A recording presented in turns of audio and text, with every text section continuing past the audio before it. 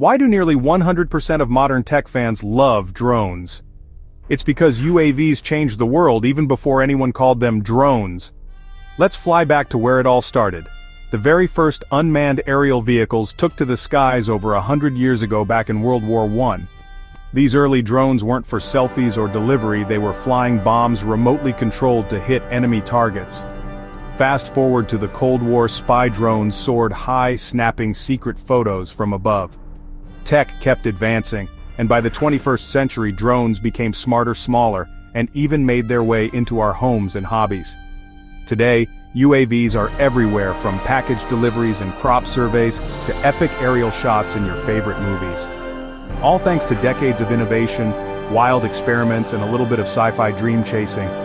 So next time you see a drone zipping by, remember, you're looking at over a century of tech evolution. Like share and subscribe for more tech stories that fly high.